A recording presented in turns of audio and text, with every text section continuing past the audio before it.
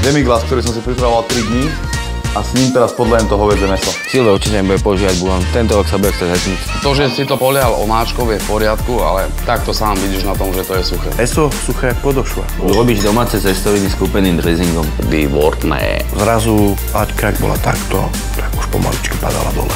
A to tady máme? mi to pripomína minulý rok u teba. Mm, také škaredé to nebolo. Bez servítky. Dnes o 17.50 na Jojke.